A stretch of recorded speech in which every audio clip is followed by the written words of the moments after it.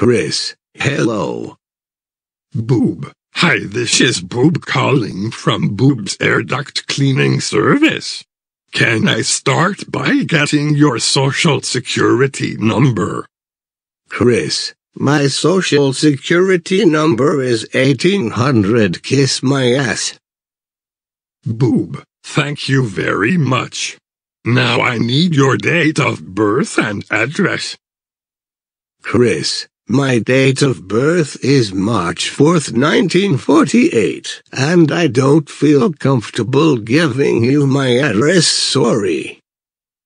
Boob, that's fine. Now we offer a very luxurious air duct cleaning service.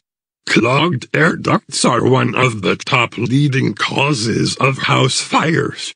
What we do is you pay now and within the next 500 days my team of boob-like creatures will come and clean out your air ducts.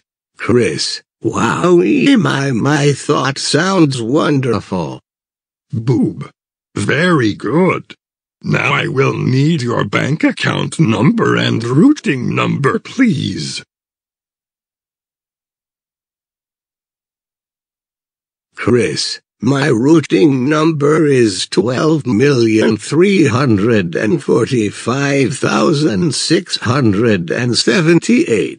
my account number is nine billion eight hundred and seventy-six million five hundred and forty-three thousand two hundred and ten.